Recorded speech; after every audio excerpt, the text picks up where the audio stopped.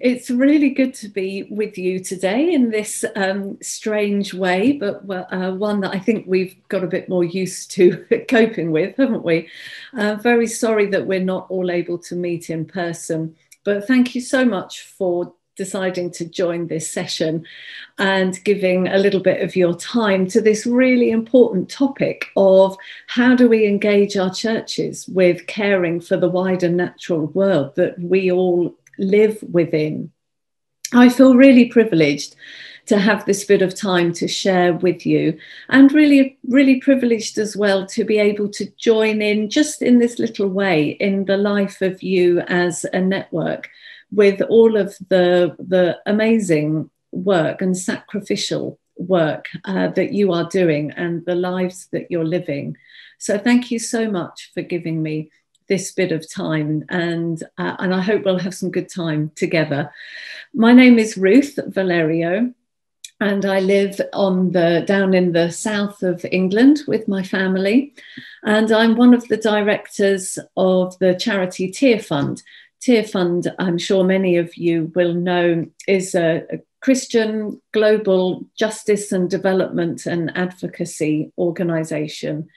And we work alongside and with the local church in about 50 countries, working in some of the poorest communities in the world, helping to see people lifted out of poverty and living flourishing lives and discovering their god-given potential.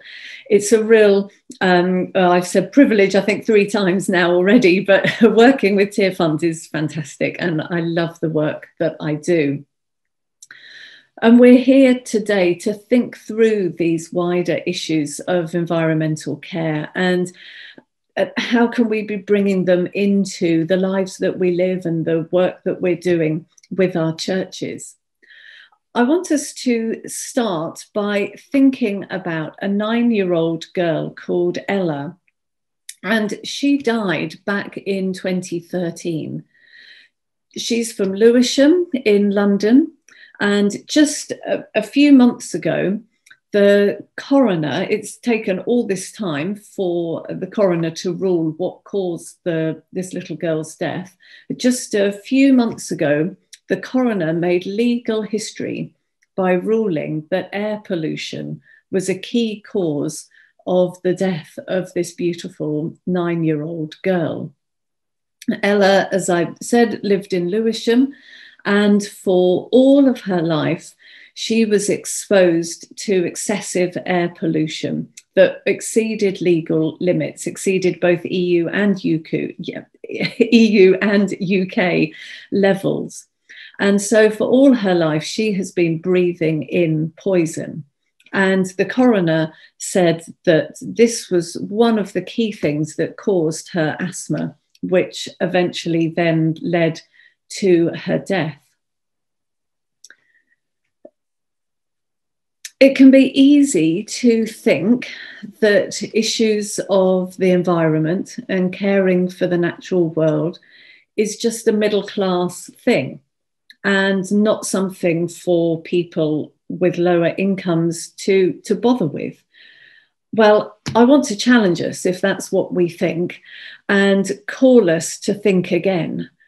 Because the reality is that it is the economically poorer people who suffer the impacts of environmental breakdown. This is the case in the UK, and I'm going to look at some of those issues. And it's the case globally as well. As at Tearfund, we hear constantly, every day, we are hearing about the impact that environmental breakdown is having on the lives of people living in poverty, and how environmental breakdown and the climate crisis in particular is devastating their lives. I think, for example, of a woman called Orbisa in the northeast region of Ethiopia. And climate change is having a devastating effect on her life. She and her family used to expect rain for up to four months, but now it only falls in August. And they are facing severe water shortage she has to walk 10 hours every day in order to collect water from a lake. And even what she's able to collect then isn't enough for what she needs. Can you imagine the impact that that has on her ability to go out and, and earn a livelihood and to care for her family fully when she is having to walk 10 hours a day just to provide something as basic as water? Globally, we know that it is the poorest of the poor who are suffering the impacts of our environmental crisis. But that's the same in the UK as well. This isn't environmental breakdown isn't only a global issue that relates to people who live thousands of miles away. It is something that we are facing here in the UK and particularly in the poorest countries. I've been speaking about issues of poverty and the environment for for some 25 years now. And all of that time i've been living on a on an estate down here in the, the city that i live on live in. Um, it's a what would have been called a council estate then now is uh, called a social housing estate. And it's your your classic white working class council estate which has had all of the problems that you, that you would associate with some kind of with that kind of area. And i've been living here for over 25 years now and working on the estate working on the community working in with the community living here part of the community and also really involved in wider issues of poverty and global poverty and global environmental breakdown. And i can see just how much these things are linked. So i i have learned that you can't care for people without thinking about the land they live on and the air they breathe, uh, without thinking about the water that they drink or uh, use to, to wash themselves, ourselves. And you can't care for the wider natural world without thinking about the people who impact that world, whether through their extreme poverty or through their extreme wealth. So these things are intricately related. Poverty and environment go hand in hand. Poverty and environmental breakdown go hand in hand. And it's also true that issues of race and issues of gender also are very closely linked with these things. And sadly, environmental hazards follow race lines. So it's no surprising no surprise that those two examples of Ella, little nine year old Ella living here in the UK, and Orbisa living in Ethiopia, both of them are women, both of them black. Poverty, environmental breakdown, race, gender, they are all interconnected, um, and we need to be tackling and looking at these things together as, a, as an integrated whole. Environmental breakdown is something that we face here in the UK and that is really closely linked with poverty. So, pollution is one of those really obvious areas, and Ella's example um, just illustrates that. It is the poorest communities that tend to live, not tend to, it's the poorest communities that always live in the most polluted places. Another issue is energy we know that big energy providers rip people off. It's more expensive to get your energy from a key meter than it is to get it through setting up a standing order. We know that people living in poverty in the UK are often facing um, often facing energy problems and energy poverty. And this is at the same time where we're facing increasing unemployment. And there's actually a big opportunity to, to make a link here. We're facing a huge unemployment crisis at the same time as there being a desperate need for green jobs, which could tackle the climate crisis. We could tackle the climate crisis and unemployment together. So we're facing unemployment, we're facing uh, energy, fuel poverty, we're facing terrible pollution in our poor communities, we're also facing food deserts. We know that issues of obesity and issues of malnutrition impact those who are living in the poorest communities. And often, sometimes that's because of a lack of knowledge. Often it's because of wider issues of justice and a lack of access to places that sell fresh food at a price that is affordable. So, food deserts is another issue for us in our poorer communities. And also access to green spaces. We know, and haven't we discovered it all the more so over this last year? We know that being connected with the wider natural world, being connected with green spaces, is um, it plays a huge part in our sense of well-being and in mental health. And we know that those who are able to spend time outdoors and access good quality green spaces have higher levels of mental of well-being and lower levels of problems with mental health than than others.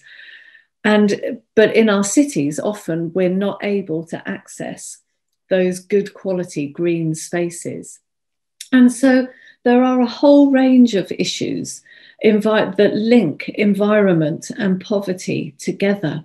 And I've learned that you can't separate those out. And if you are concerned for the poorest of the poor, then we will be wanting to respond to issues of environmental, to the issues of our environmental crisis.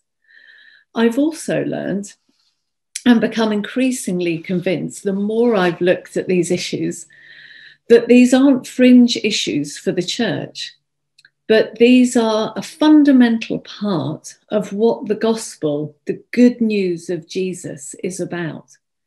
When we look right at the start in our Bibles, we see that we were created to be in relationship, to be in relationship with God with each other through Adam and Eve, the creation of the human community. And we were created to be in relationship with the wider natural world. We have been created in God's image. I don't have the time to go into that in detail, but it basically means that we are God's representatives here to the wider natural world. We are the, the final species that has been created in order to look after the rest of what God has made. But the fall broke those relationships. And so the rest of the Bible really is the story of God working to put back to rights those broken relationships with God, with each other, and with the wider natural world. And Jesus came, Jesus' life, his death, his resurrection, his ascension was all to put those relationships back to rights. Yes, absolutely, evangelism. Key to that is that we can have our relationship with God restored. But look at Galatians 3:28, Ephesians 2 and other places. The good news of Jesus, the gospel, is also that our relationship with other people can be restored. And then finally, Colossians 1 15 to 20. Jesus' blood was shed on the cross in order that all things on heaven and in earth, in heaven and on earth, might be restored, might be reconciled. That's a huge a lot, a huge amount of biblical material I've just touched in a, in a very quick moment. If you want to read more about both the biblical and the practical, do get hold of both L is for Lifestyle and Saying Yes to Life. There's so much biblical stuff there that needs unpacking further, and I haven't got the, the time to do that now.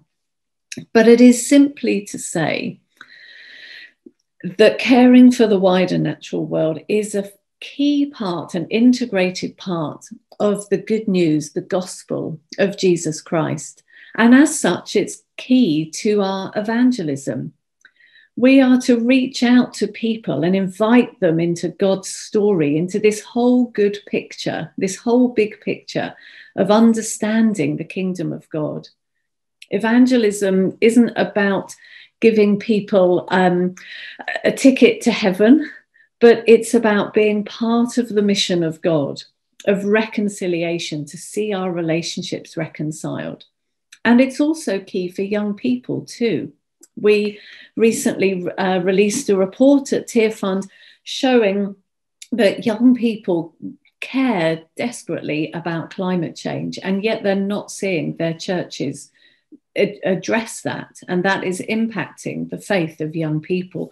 You can have a look more. It's called burning down the house. So have a look at that Tearfund burning down the house and you'll see more about that report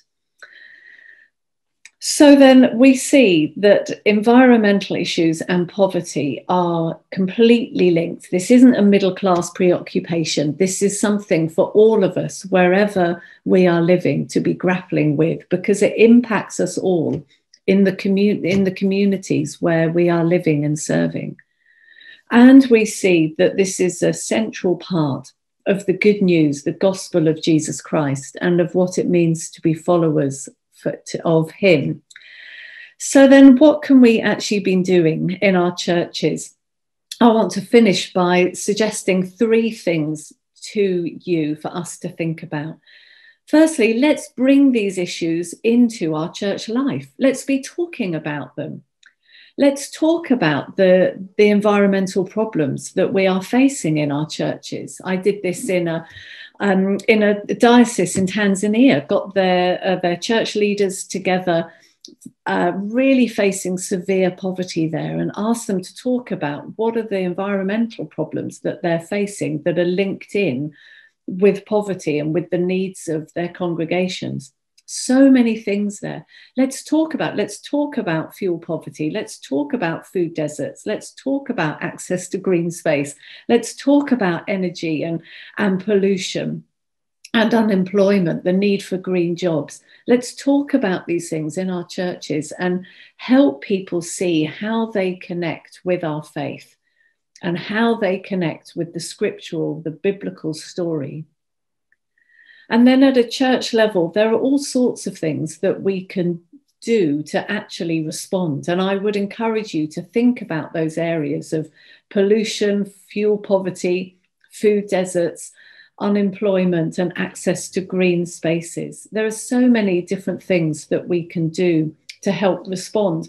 On the estate here that, that I live on, we've been involved in planting a community orchard and we've created some wildlife, some um, wildflower, wild meadow areas. We've worked hard at improving the green spaces. And we've, uh, together as a community, we have tackled some of these issues. There are other churches around the country doing likewise. And I'd really encourage you to have a look at Eco Church and see the practical stuff that is there.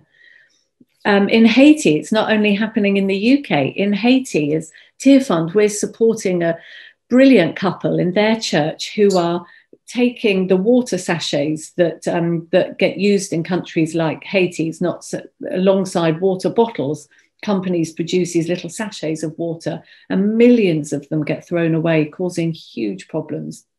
They've created an ingenious way of recycling those into brilliant products that they're now selling and able to learn a living and earn a living from. With our food box schemes, uh, we can help food poverty. So many ideas. Let's bring these issues into our church lives. Let's look at the practical things that we can do at, at a, a church level as churches and as churches together. And then finally, we need to be speaking out about these issues. As well as taking practical action, let's get involved in advocacy at a policy level. Help your church and its members to engage with policymakers, to engage with your local authority, to engage with your MP. Help them to speak out. It's what we've done on Whyke. I've had to learn how to approach politicians and the local authority and um, there's been a whole number, I'm just looking out my window, I can see the estate, been a whole number of issues that we have tackled together as we've learned how to get a voice and to speak out. And engage your, your church and your local MP on the global issues too. This is a really crucial year as we head towards UN climate change talks in Glasgow at the end of the year And there, for us as our churches, I think it's a brilliant thing to do to be engaged with that, so that we, so that as well as getting involved in our local issues, we also help our churches to lift our eyes and to see the global context and the global problems that we're facing too, and for us to be part of the worldwide body of Christ. So do get involved in that. If you go onto the Tearfund website, you, you can just click on the campaigns thing and you'll see a link to that that will give you more resources. So I'm going to bring my time to an end now, but just want to remind us of where we have got to. These things are central to the Christian faith. Caring for the wider natural world is a key part of how we respond to the issues of poverty that we see in our own neighborhoods and in our own churches. And there are practical ways by which we can get involved. So let's stop putting this on the edges, on the margins of our church life, and let's integrate this right into the center of who we are as church, not out of duty or responsibility, but out of a sense of love and worship for our creating, sustaining, redeeming, saving God, and for the love of the people who we serve. Thank you. Thank you for giving me your time. Música